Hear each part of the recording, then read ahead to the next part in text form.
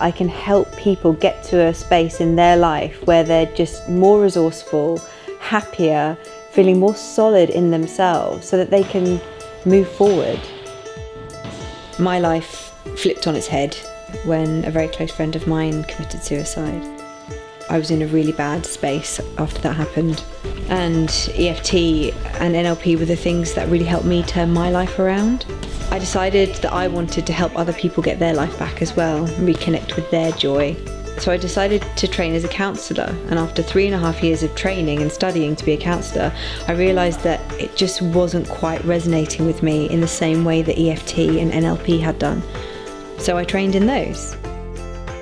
Tapping helps people with pretty much anything stress, anxiety, depression, grief, weight loss, food cravings, releasing big traumas, as we say in EFT, traumas with a capital T or traumas with a little t.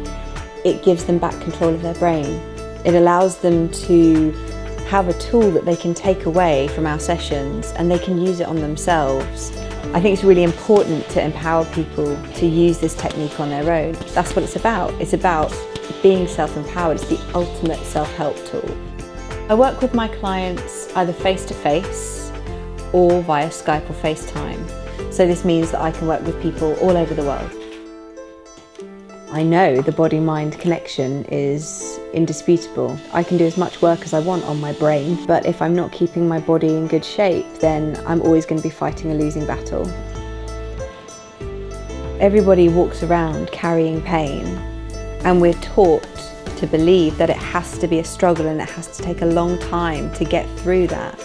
And with EFT, it really can be very quick.